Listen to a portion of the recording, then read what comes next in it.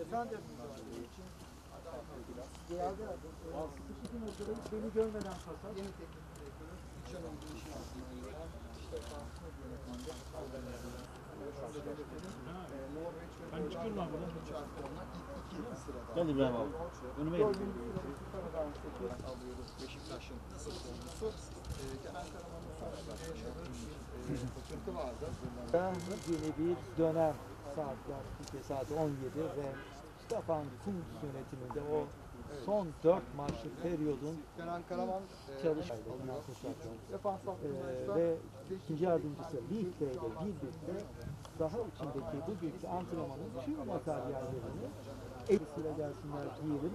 Ee, dün akşam bir gece Berlin Marsilya maçında 4 Türk oyuncu e, Burak Yılmaz, Yıldız, Zeki Çelik ve Cengiz Ülker. E, yoldalar.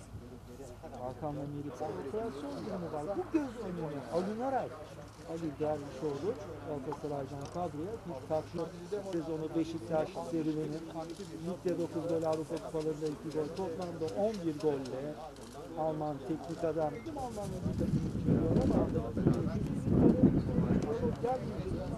Kadıköy'de seçildiği günü aslında yarışta ikinciliği yeni Dünya Kupası olsun diyoruz. Stefan Kuntz özellikle neşeli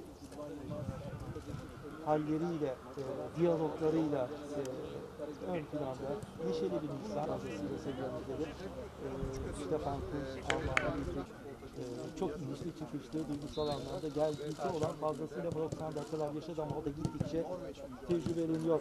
Caner yeniden kadroda kara gözümüzü süreceğiz. Tek amaç var ikinciliği çok kolay aslında kaybettiğimiz, iyi başlayıp son dönemini kötü geç- geçirdiğimiz bu yarışın ikinci dilimini yeniden elimize alıp avantajı almak en büyük. Sözü tekrar size bırakalım dakikalar kaldı. Ee, 15 dakikanın bitmesine. O ana kadar zaten sevgili Yağda ile de konuştuk. Sağ olasın, kolay gelsin.